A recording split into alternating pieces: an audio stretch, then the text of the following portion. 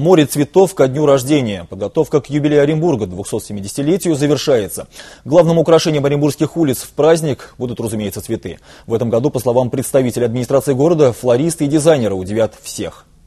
Чтобы в свой юбилей, который будут праздновать в конце августа, город был максимально украшен, специалисты начали трудиться еще в декабре. Тогда разрабатывались эскизы и подготавливались материалы. Зимой цветы выращивали в теплицах, весной их начали высаживать в городские клумбы. Всего за этот летний период в Оренбурге было посажено около миллиона корней цветов. Применяем, как бы, скажем, новые вот эти, скажем, технологии.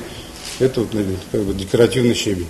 Разработано два проекта цветочных панно то есть один мы устанавливаем на Нежинской развязке, то есть сейчас работы ведутся. И второй, скажем так, это проект, который осуществляется, это у нас на пересечении Салмышской и проезда Северного. Комплексный подход, который включает к себе подбор растений повышенных декоративных свойств и замена старых растений на новых. Особое внимание в озеленении улиц специалисты уделяют, конечно, центральным магистралям города. Это проспект Победы, улица Кирова, улица Чкалова, проспект Гагарина. Многое уже сделано, а часть композиции находится на стадии завершения.